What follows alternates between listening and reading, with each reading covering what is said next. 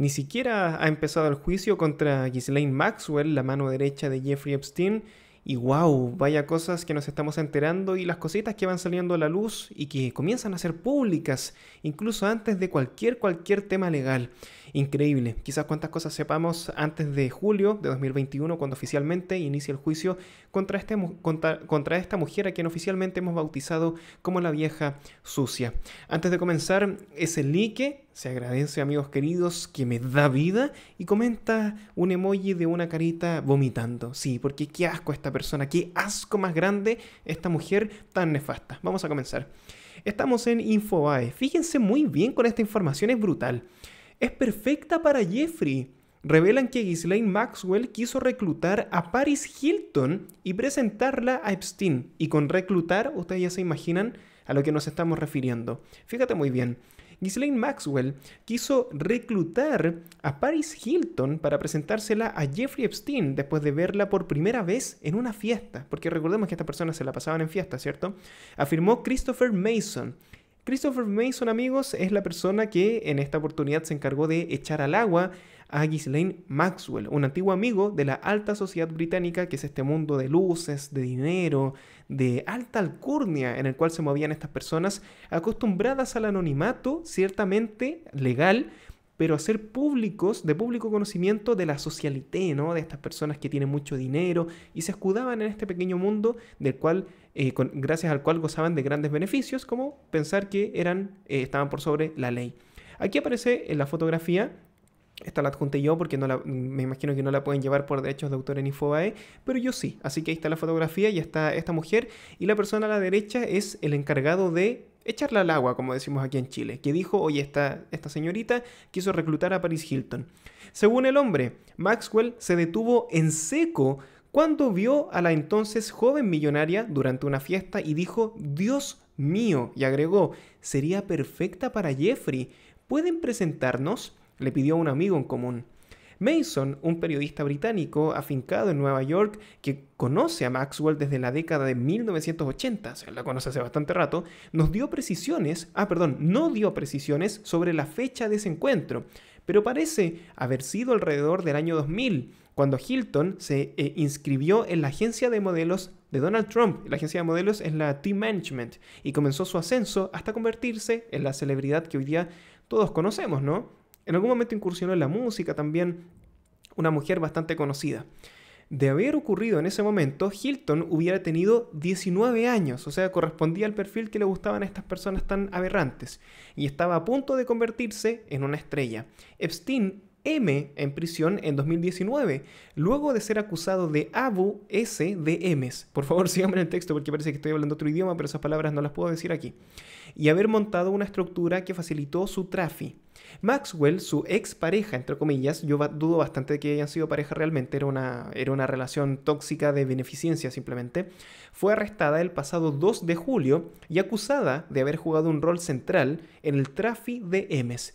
Sí, bueno, esto es parte de lo que dice Fiscalía, ¿no? Que Maxwell, de no haber existido, Epstein no hubiese podido hacer ni la mitad de lo que hizo, porque Maxwell le entregó algo que Epstein no tenía, que era la clase, que era el contacto con personas de dinero. Eso Epstein no lo tenía ni lo iba a tener nunca. Y Maxwell se lo entregó. Mason relató el episodio para una nueva serie documental llamada Surviving Jeffrey Epstein de Lifetime. Esto, esto lo pueden ver, eh, muchachos. Está en, de hecho, en el sitio de YouTube de Lifetime está el, el avance, el tráiler. Y no sé si lo pueden ver entero. Seguramente es de pago, pero ya está disponible. Esto ya salió. Y allí, en ese documental, dice lo siguiente. Un amigo mío estaba en una fiesta y Ghislaine dijo, Dios mío, ¿quién es esa? Mientras miraba a esta hermosa y joven adolescente. Preguntó, ¿la conoces? Y mi amiga dijo, sí, se llama Paris Hilton. Y Ghislaine dijo, oh, sería perfecta para Jeffrey. ¿Puedes presentarnos? Esta mujer está muy loca. Esta mujer está muy loca, o sea, cuando uno conoce a una persona, uno dice, wow, qué interesante lo que conversa, o no me parece interesante lo que conversa, voy a ir a otro grupo. Pero ¿quién piensa en inmediatamente trafi, eh, ¿sabes? Conoces esa palabra, ¿cierto? En trafi a una persona que recién vas conociendo, a una persona que conoces de mucho tiempo. ¿Quién piensa en eso?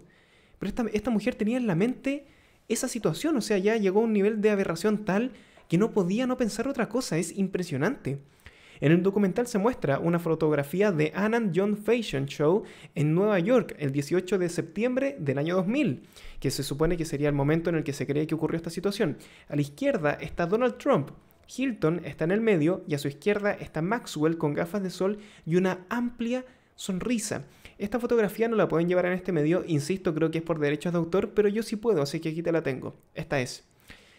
O sea, mira, ahí a Ghislaine Maxwell lo único que le falta es el diente aquí, aquí en el costado, y que se le caiga la baba. Mira cómo, cómo está de contenta. O sea, está al lado de, de Paris Hilton, que seguramente esta chica no tenía ni idea de lo que estaba pensando Ghislaine Maxwell. Y mira cómo está, así como con lentes de sol y, y súper feliz porque ella jura que va a poder llevársela a Epstein y poder hacer lo que acostumbraban a hacer estos perversos, ¿no? Pero mire, llega a dar miedo la cara que pone, así como de depredadora a otro nivel. Maxwell, de 58 años, la, vieja sucia, está acusada de ser la principal reclutadora de Epstein y de conseguir chicas adolescentes para sus operaciones de Trafi S. Conoció a Epstein a principios de la década de 1990, cuando se mudó a Nueva York después de la M de su padre, el deshonrado varón de los periódicos Robert Maxwell. Sí, el padre de Ghislaine Maxwell fue muy, muy enjuiciado popularmente, porque se decía, bueno, él también falleció en circunstancias medias extrañas, y ella escapa de su país, escapa de Inglaterra y se va a Estados Unidos buscando eh, en quién cobijarse, porque se queda sola. Después de la muerte de su padre, se le acaba como el poderío de tanto dinero que tenía y al cual estaba acostumbrada a vivir a despensas del padre, y se escapa a Estados Unidos y ahí conoce a Epstein. Vamos a, a profundizar un poquito en esa historia más adelante, sigamos leyendo acá. Mason dice en el documental que la gente estaba desconcertada por la relación entre Maxwell y Epstein. O sea, a las personas les llamaba la atención. Y aquí hay que hacer un punto, porque ahora están todos, ahora de que esto salió a la luz, están todos, oh, qué increíble, yo nunca me lo pude imaginar. Pero a ver, cuando Epstein inicia su relación con Maxwell, y se sabe que tienen una isla y que tienen, van con helicóptero y que invitan al príncipe Andrés, también bautizado en este canal como el cerdo del príncipe Andrés y mucha otra gente, ¿A nadie le llama la atención? Y ahora que salió en Netflix, oh sí, verdad, yo no me había dado cuenta. No sé, ¿eh? Harta gente que pudo hablar, pero que se quedaron medios calladitos. Con, con Harvey Weinstein pasó lo mismo. Todo el mundo sabía que Harvey Weinstein se, se propasaba, pero, pero 5 metros con la gente. Y después todo, oh, qué sorpresa, no me lo imaginé. Yo no creo. Yo no creo que no se lo imaginaron, muchachos. Amigos de las altas alcurnias, ustedes sabían. Ustedes lo tenían clarísimo, pero les costó hablar, ¿cierto? Vamos a ver qué, porque ojo, esta investigación ni siquiera ha empezado. Yo creo que hay varios que están transpirando helado hoy día. Mason dice en el documental que la gente estaba desconcertada por la relación entre Maxwell y Epstein. Y, y el señor Mason, ¿por qué no habló antes también? Si nos queremos poner pesado, ¿por qué está hablando ahora que, que va a salir en el documental? Tuvo que haber dicho algo antes, ¿o no? Los rumores decían, esto lo dice Mason, los rumores decían que Ghislaine estaba recorriendo Nueva York buscando chicas jóvenes para salir con Jeffrey. A ver, eso es denunciable, señor Mason. Porque está entretenido ahora salir en el documental acusando, pero antes también lo pudo haber hecho sin cámara, ¿o no? Medio raro. ¿eh? En ese momento me pareció un poco traviesa. Ah, buena la declaración. En ese momento me pareció un poco traviesa. Yo creo que la palabra traviesa no es la adecuada, señor. En otra ocasión, Mason dijo que se encontró con Maxwell y el príncipe Andrés, el bautizado el cerdo príncipe Andrés, caminando por Madison Avenue en Manhattan. Ah, caminando ahí de pana, ¿no? Caminando tranqui. Ella me lo presentó, me dijo que se estaba alojando en la casa de Jeffrey. Mira, aquí Mason también echa el agua a Andrés porque el príncipe Andrés declaró hasta la última instancia que nunca se quedó en la mansión de Jeffrey Epstein, y cuando lo pillaron dijo, ah, sí, es que me quedé porque era un lugar conveniente. ¿Se acuerdan? Eso lo revisamos en otro video, te lo voy a dejar arriba por si no lo viste. Pero aquí el señor Mason también dice que Epstein, perdón, que Andrés, el príncipe Andrés estaba mintiendo. O sea, aquí están todos mintiendo. Increíble, ¿no? insisto, el juicio todavía no comienza. Hay que esperar la evidencia, hay que esperar las pruebas contra Ghislaine. Pero la evidencia que estamos teniendo, las declaraciones, dan para pensar ciertas cosas, ¿no? Dice, eso me impresionó, me pareció un ejemplo perfecto de la clase de gente con la que Jeffrey pasaba el rato. Claro, porque el príncipe Andrés era conocido ya en ese tiempo como el príncipe de las fiestas. La gente le decía el príncipe de las fiestas. Y claro, si se iba a carretear el tipo con, en ese momento con, con Virginia Roberts, ahora Virginia Giuffre, porque parece que se separó de su relación anterior, y cuando tenía 17 años, o sea, el príncipe Andrés vacilando en la fiesta con 17 años. ¿Qué está haciendo ahí esa, esa persona? Bueno, también aparece en el documental Bárbara Siv, psiquiatra forense y experta en agresiones S, que presentó testimonio para los enjuiciamientos de Bill Cosby y Harvey Weinstein. Según ella, la de Maxwell y Epstein puede haber sido una relación mutuamente parasitaria.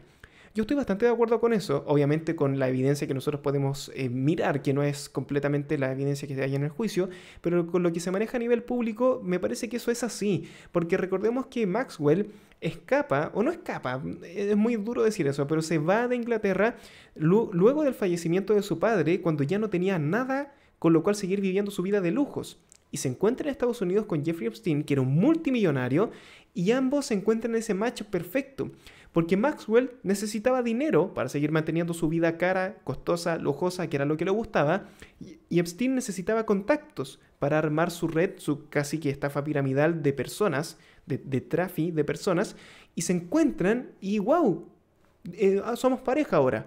No, no, es que se hayan gustado realmente, no es que se amaran, es que tenían una relación de conveniencia y mutuo, em, como dice la, psicóloga, eh, parasitario, ¿cuál fue la palabra que ocupó? Eh, mutuamente parasitaria. Ciertamente, ¿no? Yo creo que está como claro eso.